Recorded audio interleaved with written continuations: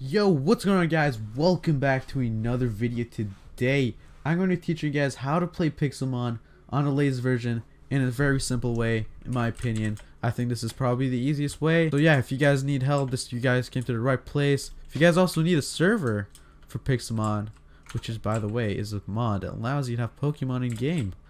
We have a server and it's Pokeland. We have a lot of cool features, so if you guys do want to check that out, all the links are in the description. So yeah, other than that, let's get right into this tutorial. See you guys in a second. Alrighty guys, so today's method, I will be showing you guys how to use it using Technic Launcher.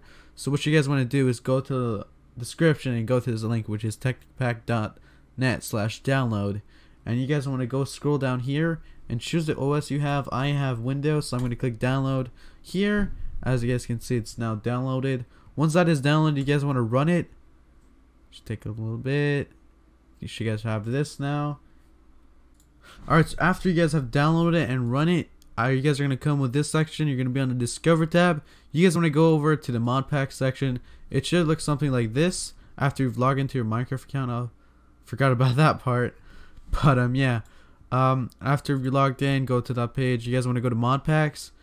And you guys want to go to the link in the description, which is, which is this. So what you guys want to do is click install this mod pack. You guys want to select this entire link, copy it, go back here and put it in your search engine and press enter.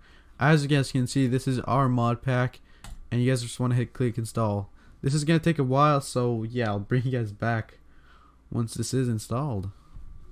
Alrighty guys, it is fully installed, so once, before pressing play, you guys have to put more RAM into your game, which the way you're going to do it is click launcher options on the top right here, go to Java settings, and then click memory.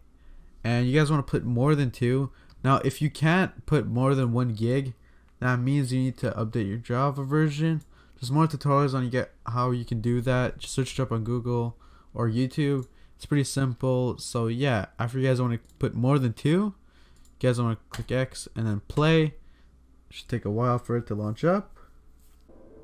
Alright, it's launched up guys. As you guys can see, we have beautiful Minecraft with huge UI scale. We're just going to put that down real quick. And also sounds. So, yeah, It's pretty much it guys. It's that simple. Now you guys can play the server. So, yeah, you guys can play Earth or the new realm, which is coming out soon, or Moon Realm.